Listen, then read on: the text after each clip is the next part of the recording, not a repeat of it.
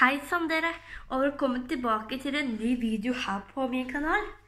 Vel, jeg vil egentlig bare si fra at jeg tenkte å lage en ny Just Dance. En hel Just Dance av En dag i morgen. Vel, den forrige videoen som jeg la ut av En dag i morgen, var det bare en halv Just Dance. Men jeg tenkte å lage en hel Just Dance, hvis det er greit for dere.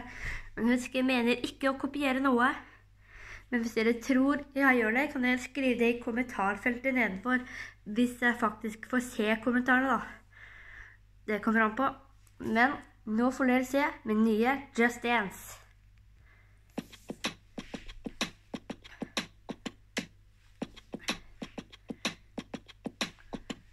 Jeg sier det rett ut, jeg sier det denne gang. Det er i eventyrene som kom fra fjerne land. I saga fra gamle dager, der de stakk hull i trollemage. Det var i David og Golias dager at superheltene fikk sang. Ikke som Grand Prix. Mye fetere melodi. Hvor er alle heltene hen? Batman og Robin står opp igjen. Tiden, den er her igjen. Du kan bli en supervenn. Når de du kjenner står i skygge, trengs det folk som gjør dem trygge. Løfte lette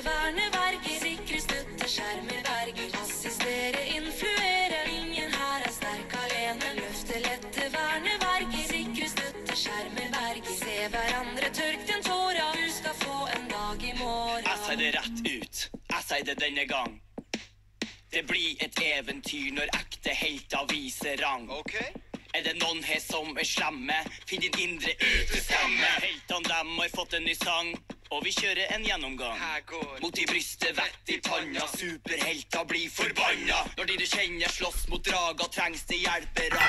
Jaga. Løfte lette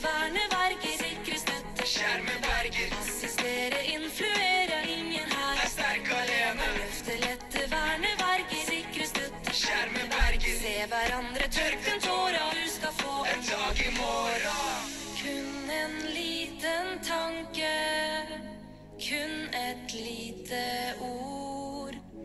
Det aller minste tegn gjør større forskjell enn du tror. Helter er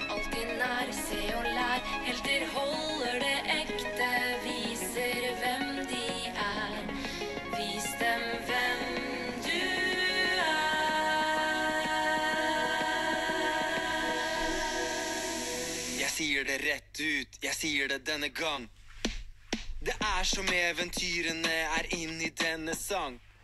Når du bærer andres smerte, blir det varmt i eget hjerte. Veien blir ikke like lang når ekte helter viser rang. Løfter et